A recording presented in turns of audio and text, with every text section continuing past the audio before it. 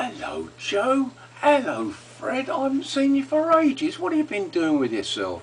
Well, he said the last time we spoke, it was up at the old club, wasn't it? The old music club. He said, yes, that's right.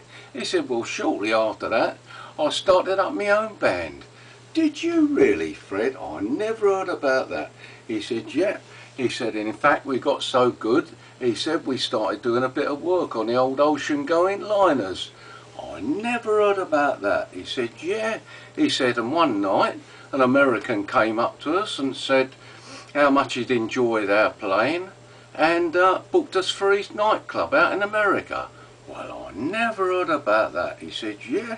He said, and um, he said, it wasn't very long after that I started doing a bit of writing as well. I never heard about that. Yeah, he said, and um, one of my tunes, he said, not long afterwards, got to the top of the air parade out there. Oh, Fred, I never heard about that. He said, yes. He said, and um, not only that, he said, I followed it up with a couple of others that got up the top of the hit parade. Well, I never heard about that, Fred. He said, well, what are you doing over here? He said, well, I thought I'd come over here, see some of my old mates, like yourself.